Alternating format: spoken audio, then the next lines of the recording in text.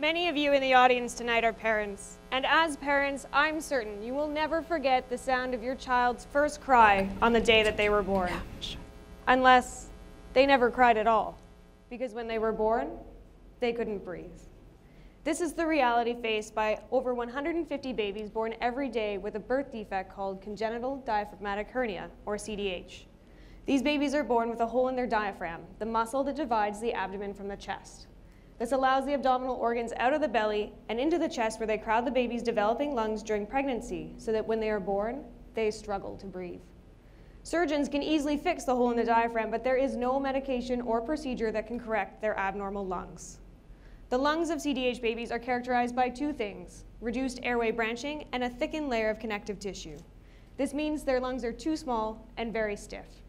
If you've ever tried to blow up a balloon, you know that the thicker the balloon, the more difficult, difficult it is to inflate.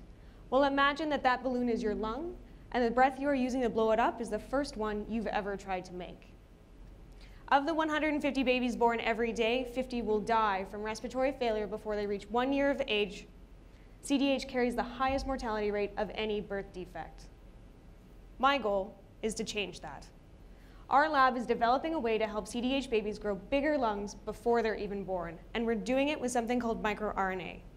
MicroRNAs are tiny pieces of code within cells that are essential for proper lung development. Normally, genes act like light switches. They either turn on or off, but with microRNAs, these light switches become dimmer switches, mediating the effects of genes without changing the genetic code itself. We looked at microRNA expression throughout fetal lung development in both humans and an animal model. In early development, we found that microRNA expression was decreased in CDH lungs, while in late development, CDH babies had higher microRNA expression than their healthy peers. We thought, could microRNA be trying to help these babies grow bigger lungs, but their increased expression right before birth is just too little, too late?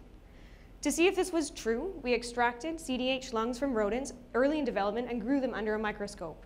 To half the samples, we added microRNA. The other half we kept as control. What we saw was amazing.